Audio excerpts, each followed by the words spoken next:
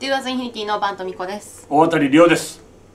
えー、A ネーションにはたくさん出させていただいてるんですけどあの A ネーションに出演する際にあの何度かリハーサルっていうのをやるんですけど、えー、その際に、えー、何年だったかちょっと忘れちゃいましたけど、え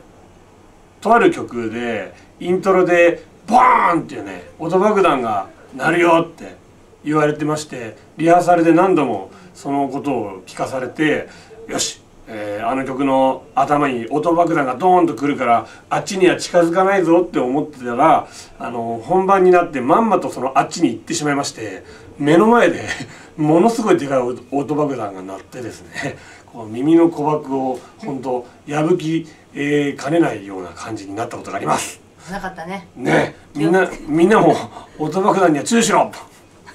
えー、今年もまた A ネーションに参加できるということで、えー、またねあのキー会場で、えー、来てくださった皆さんと、え、そして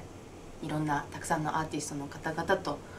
音楽をね皆さんに届けられるということでうちららしいステージをお届けできたらなと思っております。まあ夏なんでねこう表で遊びたいのと同じような感じで表で演奏するっていう感じなんで本当毎年毎年すごく楽しみにしております。期待しててください、えー、そんな私たち Do As Infinity はですね7月27日にニューシングル「誓い」をリリースいたします、えー、今回は自分に挑み続けるという力強い一曲に仕上げました。なんか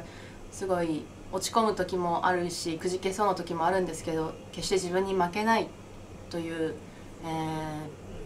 はい一曲にしました。はい。非常に熱きサウンドになってますのでぜひぜひ皆さんに聴いていただきたいと思っております。よろしくお願いします